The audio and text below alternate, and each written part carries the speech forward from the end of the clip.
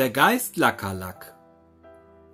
Ein Märchen, das in Dänemark spielt, erdacht von dem deutschen Illustratoren und Autoren Stefan Math für das Buch Märchen der Völker, das 1932 in Hamburg für die Firma Remsmar als Sammelalbum für Zigarettenbilder entstanden ist. Hoch oben in Grönland sind die Winter lang und dunkel. Viele Wochen lang hängt die Dunkelheit wie ein schwarzer Schleier über dem Land. Es ist die Zeit, wenn die Menschen zusammenrücken und sich Geschichten erzählen. So war es auch an diesem Abend. Alle saßen beisammen und plauderten, als einer sagte, es ist so dunkel und kalt, dass man gar nicht mehr weiß, ob Tag und wann Nacht ist. Geh doch zum Geist Lackerlack und sag ihm, er soll die Sonne wieder durchlassen, sagte einer. Der Geist Lackerlack? Erzähl uns von ihm, riefen die anderen. Da begann der Mann zu erzählen. Vor langer Zeit lebte einmal ein Mann. Dem ging es genauso wie uns. Es war ihm zu dunkel und zu kalt. Also wanderte er zum Geist Lackerlack, der das Land verdunkelte, und rief Lackerlack, Lackerlack, geh fort, damit ich das Licht wieder sehe und die Wärme zurückkommt. Der Geist sprach, es ist noch nicht Zeit, dass die Sonne zurückkommt, aber ich kann dich in das Land der Sonne führen. Oh bitte, ja, tu das. Ich habe so große Sehnsucht nach der Sonne. Da kam auf einmal Nebel auf und hüllte den Mann ein, so dass er nichts mehr sah und hörte nur noch ein Rauschen und Brausen. Vor Angst schloss er die Augen, und als er wieder zu sich kam, wurde es um ihn herum hell. Er blinzelte in die Sonne. Fort waren die Eisberge und die Eisbären. Keine Wale waren da, kein graues Eis mehr und keine Rentiere im Schnee. Stattdessen sah er grüne Wiesen und blauen Himmel.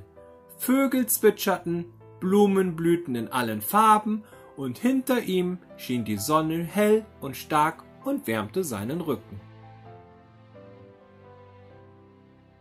Da hob der Mann die Arme und wollte das grüne, warme Land begrüßen.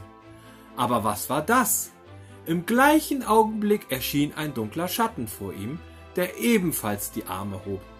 Aber er war viel größer, breiter und länger als der Mann. Erschrocken schlug er die Hände auf dem Kopf zusammen. Und der Geist, dieses schwarzgraue Schattenungeheuer, tat das gleiche. Jetzt bekam es der Mann mit der Angst zu tun. Er sprang auf und davon, doch das Schattenungeheuer verfolgte ihn.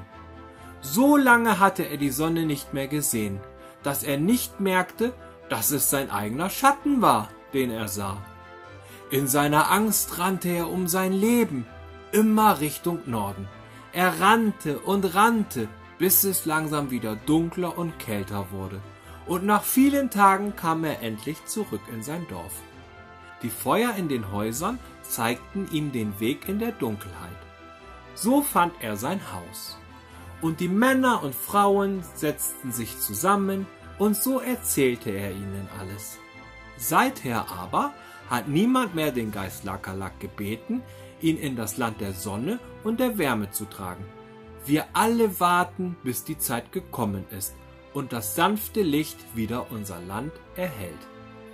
Seht ihr, sagte der Mann, als die Geschichte zu Ende war zu den anderen, so ist es dem ergangen, der sich mit dem Geist Lakalak eingelassen hat. Womöglich würde es euch genauso gehen wie dem Mann, der sich vor seinem eigenen Schatten fürchtete.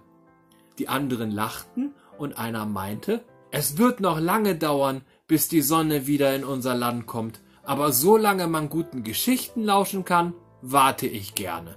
So saßen die Männer und Frauen im Dunkeln in der Kälte, wärmten sich an den Märchen. Und wer weiß, vielleicht sitzen sie dort noch heute und warten darauf, dass der Geist Lackerlack das warme Licht wieder in ihr Land lässt.